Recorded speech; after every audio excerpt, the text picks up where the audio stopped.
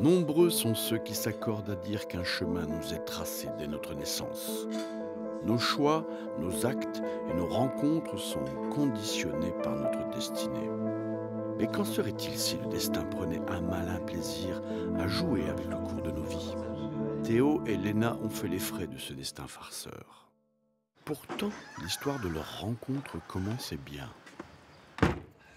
Théo, jeune étudiant en architecture, se rendait en cours, comme tous les matins, à bord de sa voiture qu'il chérissait tant.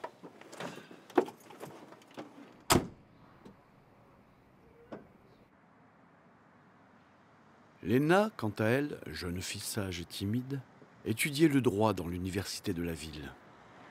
Et comme chaque matin pour se rendre à la faculté, elle empruntait la ligne 2 du tramway.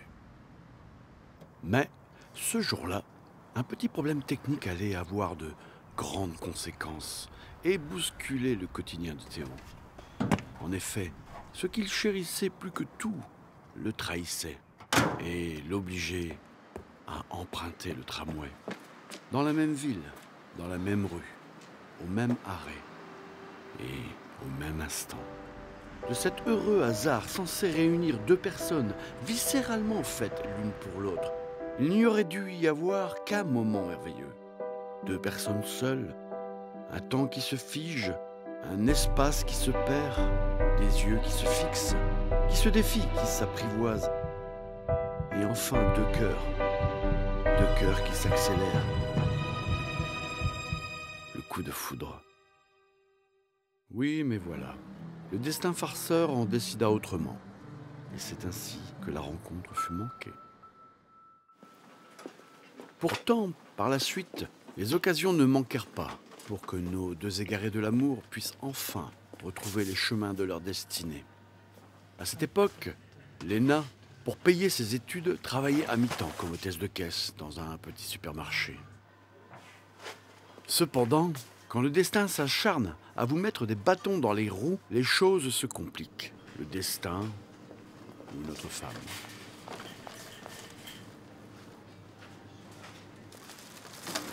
Bonjour.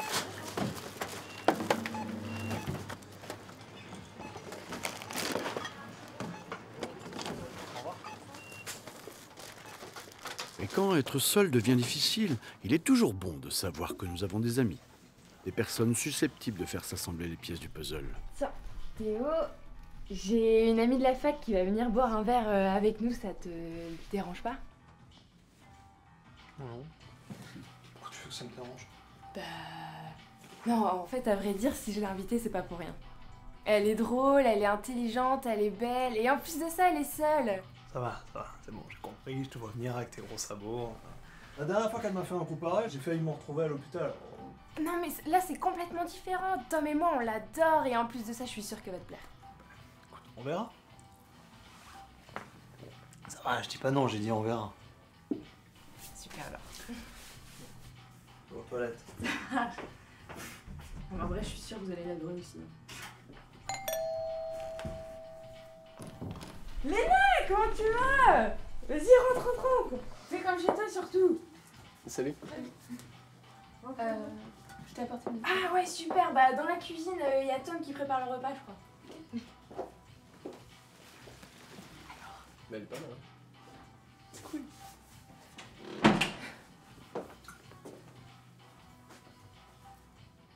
Ça avait pas sonné Bah si. C'était Léna. Elle est dans la cuisine. Tu vas bientôt pouvoir la rencontrer. Formidable. C'est vraiment pas mal. Ah bon? Oui, qu'est-ce qu'elle fait? Euh, Je sais pas, c'est ma mère, c'est pas d'elle la précision. Excusez-moi. Allô? Ouais. Allô? Attends, non, non, je suis avec des amis. Attends. Tu peux aller dans ma chambre si tu veux. Ouais. Tu veux plus vite que- Ok. Attends, attends, ne coupe pas. Allô plus- On n'a pas voulu de moi en cuisine.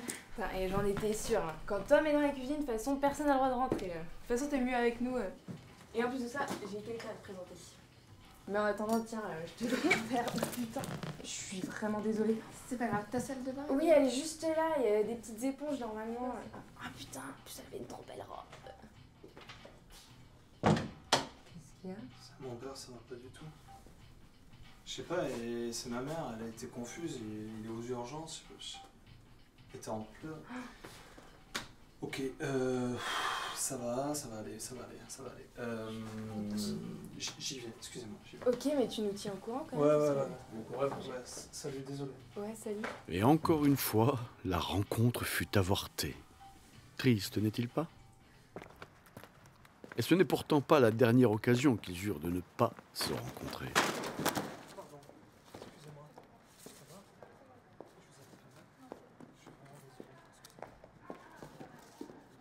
Et même une salle d'attente, si petite soit-elle, ne permet pas toutes les rencontres.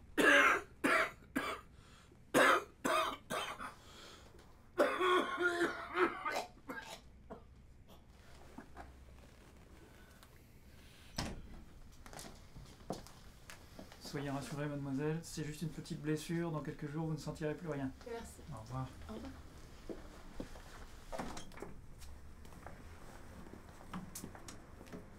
Mais il est des fois où le destin n'y peut rien. Il a beau avoir toutes les cartes en main. Le jeu ne dure qu'un temps. Et malgré son acharnement, tel des aimants, ces deux-là étaient nés pour se rencontrer.